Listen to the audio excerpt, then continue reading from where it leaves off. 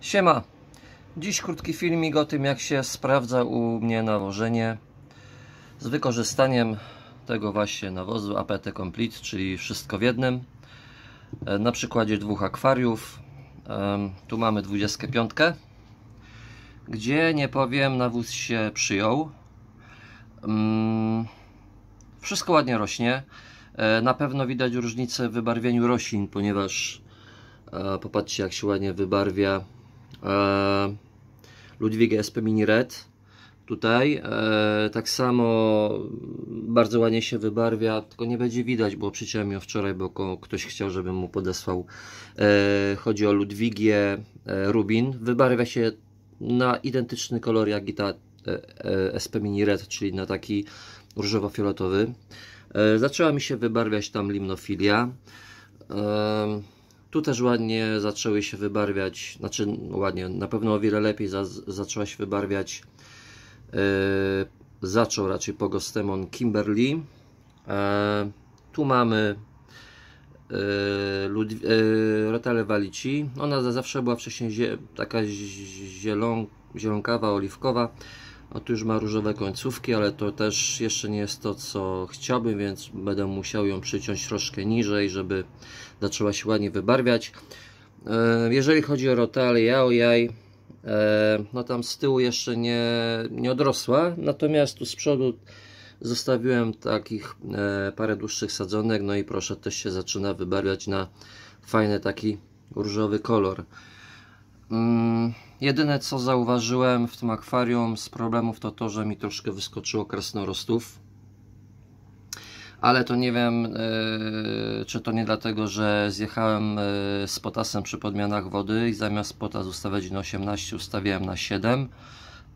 A że u mnie podmieniam tutaj 50% wody, no to możliwe, że yy, potas troszkę dał w dupę, ponieważ z tego co zauważyłem to Um, u mnie najczęściej krasnorosty właśnie wyskakują, kiedy jest za mało e, potasu. E, zresztą e, widać tutaj po dziurkach, nie wiem czy to e, nastał regenerepens, właśnie nie wiem czy to też te dziury nie są właśnie przez niedobór potasu. W każdym razie teraz już będę podawał normalnie 14 ppmów skoro tu tygodniowo wchodzi 16 z nawozu, to będzie 30. No ale powiedzmy, że 5 e, ppm będzie mi schodziło w ciągu tygodnia e, w tym akwarium tego potasu, więc powinien się utrzymywać przy, przed podmianą wody przy około 25 ppm. No zobaczymy jak będzie. No w każdym razie jeżeli chodzi o wzrost roślin i ich wybarwianie jest dobrze. Tylko te krasnorosy dają w dupę, ale to zobaczymy, co będzie dalej. Natomiast e, w drugim akwarium, 20-litrowej kostce, no to już jest tragedia.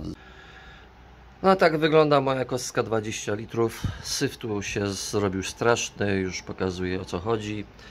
Po pierwsze, pylenie masakryczne. O, proszę bardzo. Tak mi pyli, moi drodzy, co 3 dni.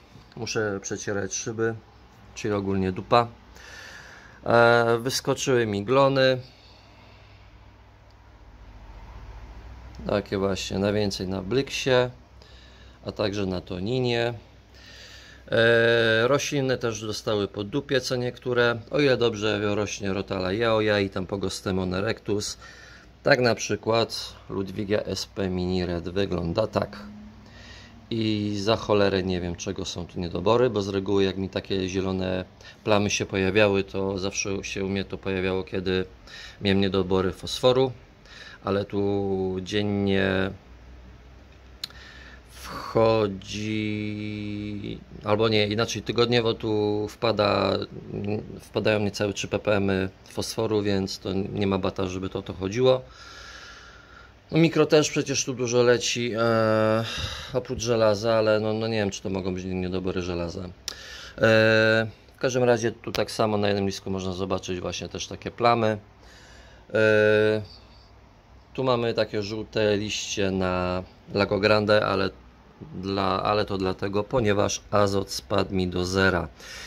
E, strasznie azot schodzi przy tym nawozie i to nie, i to nie tylko w tym akwarium, ale także w 25, bo tam też mi spadł do zera. Tam na szczęście nic się złego nie stało, ale to prawdopodobnie dlatego, że mam tam ryby.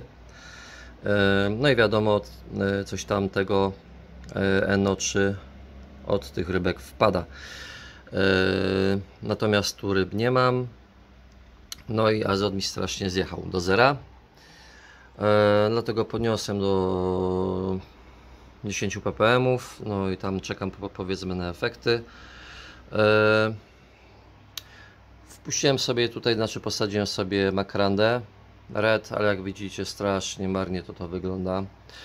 Rośnie, bo rośnie, ale jak widzicie, no jej stan pozostawia wiele do życzenia. E, tu mi też takie glonki wyskoczyły na Monte Carlo. Ogólnie Mont- Monte Carlo też jakoś strasznie słabo rośnie. Rośnie, bo rośnie, ale widzicie, e, te listki są strasznie małe. E, Jeżeli ma być 4, to są dwa albo nawet trzy razy mniejsze niż, niż wcześniej były przed przycinką. Tu dorastają w takiej właśnie małej, for, małej formie.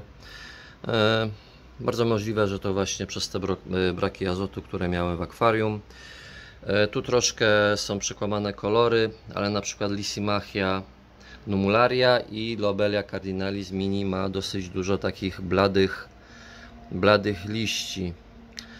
Em, Też nie wiem za bardzo, czy to nie jest niedobór żelaza, czy, czy azotu, ale stawiałbym chyba jednak na ten azot, bo no bo jak mi spadło do zera i przez minimum tydzień się utrzymywało, no to chyba stąd, stąd te braki.